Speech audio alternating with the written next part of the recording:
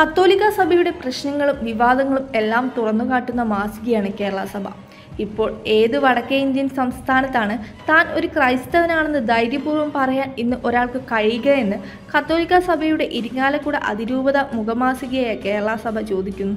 കേരളത്തിലെ രാഷ്ട്രീയ നിലപാട് ക്രൈസ്തവർ തീരുമാനിക്കും എന്ന തലക്കെട്ടിൽ മെയിലക്കത്തിൽ പുതിയ മുഖപ്രസംഗത്തിലാണ് ഉത്തർപ്രദേശ് ഛത്തീസ്ഗഡ് ജാർഖണ്ഡ് എന്നിവിടങ്ങളിൽ ക്രൈസ്തവർക്ക് നേരെ നടക്കുന്ന അക്രമങ്ങളെക്കുറിച്ചുള്ള ആശങ്ക പങ്കുവച്ചത്. രണ്ടു വർഷത്തിനിടെ ഇന്ത്യയിൽ അറുന്നൂറിലേറെ ക്രൈസ്തവ വേട്ട നടക്കുന്നു.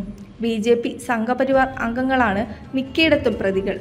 ഇതേപ്പറ്റി തൊണ്ണൂറ്റിമൂന്ന് പ്രമുഖ വ്യക്തികൾ ഒപ്പിട്ട കത്ത് പ്രധാനമന്ത്രിക്ക് അയച്ചെങ്കിലും നിശബ്ദയാണ് നരേന്ദ്രമോദി പാലിക്കുന്നത്. അദ്ദേഹമോ ബി ജെ പിയോ മറ്റ് ഉന്നത നേതാക്കളോ അരുതേ എന്നൊരു വാക്കു പറഞ്ഞാൽ ആക്രമണങ്ങൾ നിർത്താനാകും എന്ന കത്തിലെ അഭ്യർത്ഥന വനരോധനമായി. അരമനകൾ കയറിയിറങ്ങിയാലും പള്ളികളിൽ നേർച്ചയിട്ടാലും മലയാറ്റൂർ മല ചവിട്ടിയാലും വീടുകൾ സന്ദർശിച്ചാലും കത്തോലിക്ക വിശ്വാസികളുടെ മനസ്സിലെ മുറിവുകൾ അത്ര പെട്ടെന്ന് ഉണക്കാൻ ഒരു രാഷ്ട്രീയ പാർട്ടിക്കും കഴിയില്ല. ആയിരത്തി തൊള്ളായിരത്തി തൊണ്ണൂറ്റി എട്ടിൽ അടൽ ബിഹാരി വാജ്പേയിയുടെ നേതൃത്വത്തിലുള്ള എൻ ഡി എ സർക്കാർ കേന്ദ്രത്തിൽ അധികാരത്തിലെത്തിയപ്പോൾ കെട്ടഴിച്ചുവിട്ട വിദ്വേഷത്തിന്റെ അശ്വമേധം ഇന്നും ജനാധിപത്യ മതനിരപേക്ഷ ഇന്ത്യയുടെ നെഞ്ചിലൂടെയാണ് കുളമ്പടിച്ച് പൊട്ടിയുയർത്തി വിഹരിക്കുന്നത്.